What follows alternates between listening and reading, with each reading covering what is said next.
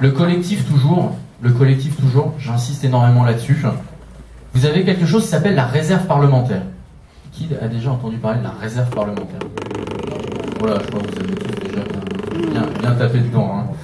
Hein? Ça n'existait pas du temps de Maurice Brun, vous voyez, c'est une invention.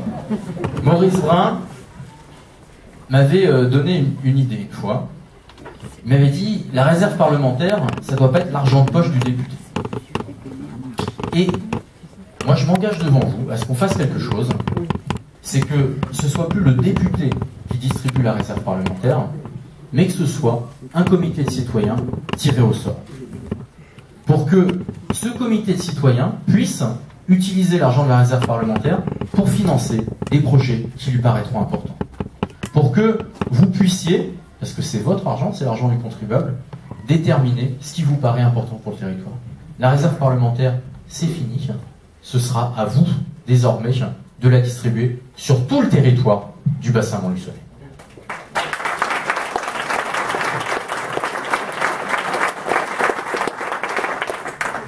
J'ai une autre méthode, c'est le terrain. Euh, les maires ruraux, euh, comme Raymond, le savent bien. Ils disent le Gabriel, il a de la terre sous les chaussures. Eh bien, on va continuer. On va continuer à détruire quelques chaussures. On va continuer à être sur le terrain, chaque semaine, auprès d'une PME, chaque semaine dans une commune rurale, pour éviter ce sentiment de déconnexion qu'on peut avoir de nos élus nationaux. Ça me paraît absolument fondamental. Quelque chose auquel je suis extrêmement attaché, et ce sera ma méthode également, c'est la transparence. Je vous l'ai dit, il n'y aura pas d'emplois familiaux. Je n'embaucherai pas ma maman. Je n'embaucherai pas mon frère. Désolé frérot. En revanche, vous pourrez directement consulter sur le site internet du député ce que je donne à mes collaborateurs, ce que je me donne en indemnité.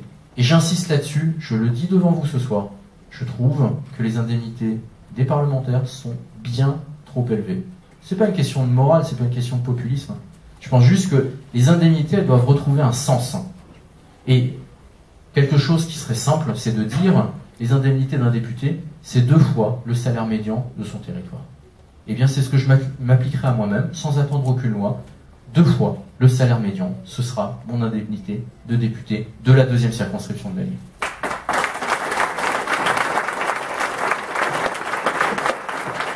Et le reste, et le reste sera pas perdu, on le redonnera à la réserve parlementaire, au comité citoyen, comme ça vous pourrez faire des projets utiles pour le territoire.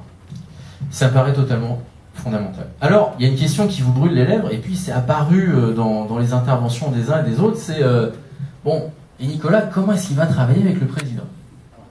Ah, ah, là je vois la presse qui est en train de s'agiter, de se jeter sur son calepin. Parce qu'il n'y a, que ça qui intéresse, hein. c'est pas les, les, idées, tout ça, bon, qui est important, c'est comment est-ce qu'il se positionne par rapport au président. Bon, désolé Guillaume. Emmanuel Macron, je l'ai rencontré en juin 2011. J'ai fait sa connaissance en juin 2011. Et euh, à l'époque, bah, ça s'était pas super bien passé. À l'époque, on travaillait à plusieurs sur le programme économique de François Hollande. Et euh, ceux qui me connaissent, moi j'ai un master en, régulation financière et donc le, thème c'était euh, comment est-ce qu'on réduit les bonus des traders, les bonus des banquiers.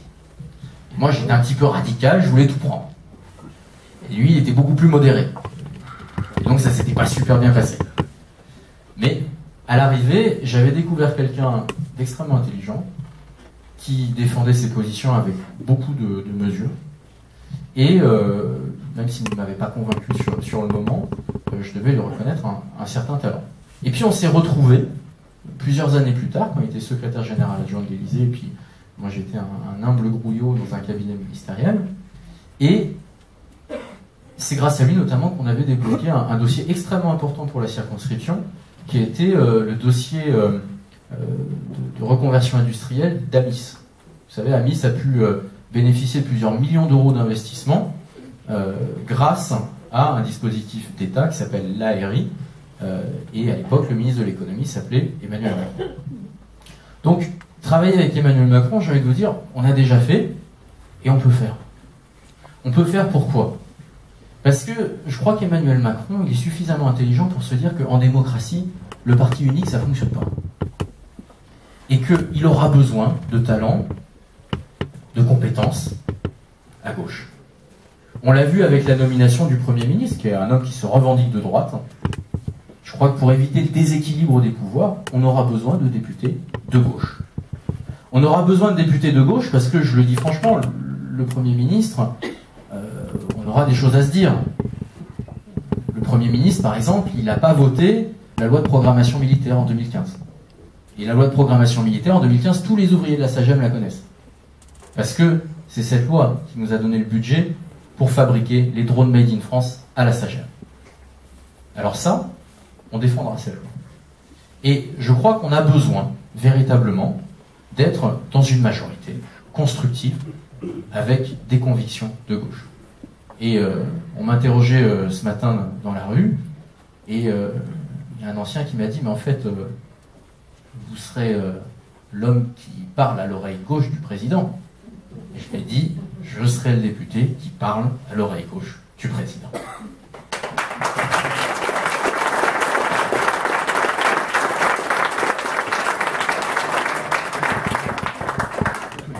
Mais tout cela, on va le construire ensemble, parce qu'aujourd'hui, dire on est dans la majorité ou dans l'opposition, ça n'a aucun sens, parce que tout simplement, les Français n'ont pas encore voté.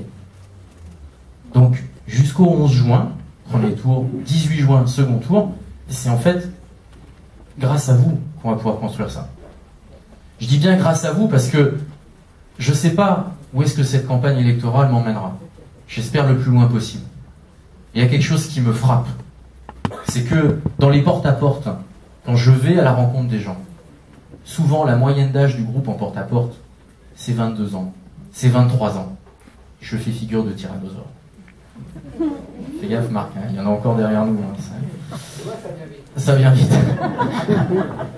Alors je vous invite, moi, à rejoindre ce mouvement, à rejoindre cette dynamique des, jeunes, des moins jeunes, des encartés, des non-encartés, des macronistes, des socialistes, des fronts gauchistes, qui se rassemblent et qui se disent on peut construire au-delà des étiquettes, on peut construire au-delà de l'esprit de tribu, et on peut faire avancer notre territoire ensemble.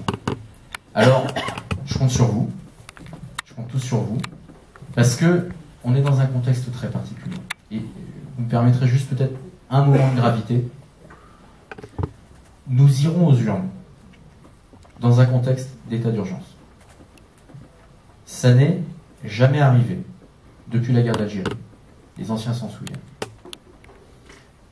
Je crois qu'on n'a pas le droit de transformer cette élection en foire d'empoigne. Je crois qu'on n'a pas le droit de sombrer dans l'indignité. Et je crois qu'on n'a pas le droit de sombrer dans l'opposition systématique. Ce territoire vaut beaucoup mieux que ça. Alors, mes amis, compte sur vous. Je compte sur vous. Chaque génération doit prendre ses responsabilités. En me présentant devant vous, j'ai décidé de prendre mes responsabilités. Et euh, je conclurai là, parce que je, vous vois tous euh, la langue sèche l'estomac ratouille, la tête lourde. Je finirai par une citation. Une citation d'Albert Camus. Albert Camus euh, disait que chaque génération veut refaire le monde. Et que le rôle de notre génération, c'est pas de refaire le monde, c'est tout simplement éviter qu'il ne se défasse. Je vous remercie.